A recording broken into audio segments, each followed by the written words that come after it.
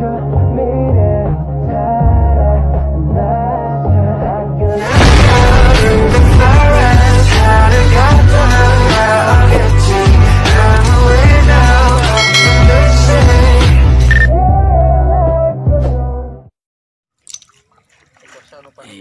nangunguha sila ng suso. Ayan.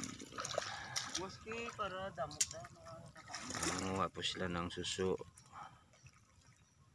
Kinalubog yun.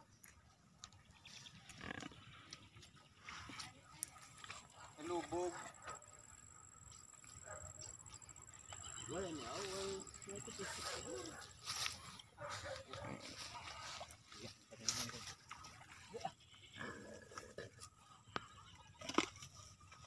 Ayan. Nangunguha sila ng suso. Yan tawag dito, bagungon.